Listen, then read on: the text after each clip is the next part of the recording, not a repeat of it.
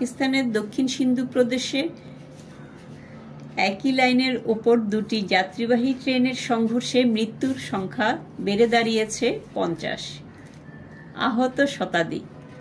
সোমবার সাতই জুন ভোরে সিন্ধু প্রদেশের ঘটকি জেলার রেতি ও ধারকি স্টেশনের মাঝামাঝি স্থানে এই দুর্ঘটনা ঘটে।